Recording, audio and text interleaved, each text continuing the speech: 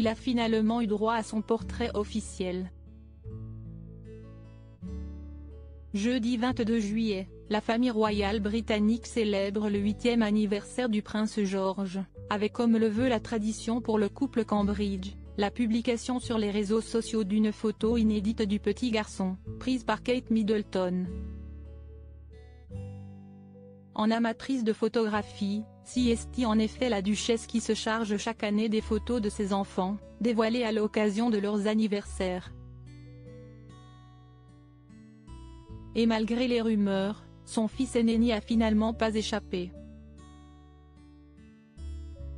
8 ans de main, peut-on ainsi lire en légende de ce cliché?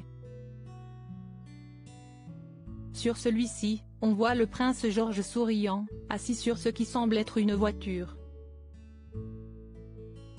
Habillé d'un short marine et d'un polo rayé, le petit garçon n'est pas sans ressembler à son père le prince William sur ce cliché inédit qui ne manquera pas ravir les fans de la famille royale.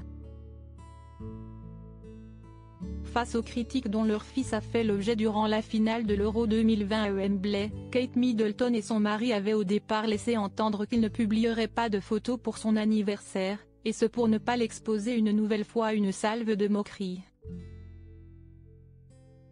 Nous pourrions ne pas voir la photo, de Prince George, quand il aura 8 ans, parce qu'ils ont été tellement bouleversés par la grossièreté des gens qui se moquent d'un petit garçon de 7 ans, avait expliqué une experte royale. Le prince George bientôt en pension Le prince William et Kate Middleton semblent donc avoir surmonté ces moqueries et décidé de ne finalement pas priver leur fils d'une nouvelle photo. D'autant plus que ces 8 ans sont un âge qui pourrait être synonyme de grands changements pour le prince George, dont les parents réfléchissent à l'envoyer en pension. Une question de tradition dans la famille royale, qui pourrait toutefois être bouleversée par le duc de Cambridge, qui tient beaucoup à ce que ses enfants ne soient pas envoyés en pensionnat. Si lui-même n'a pas été malheureux à Eton, cette expérience n'a visiblement pas été exceptionnelle au point de vouloir faire vivre ça à ses enfants.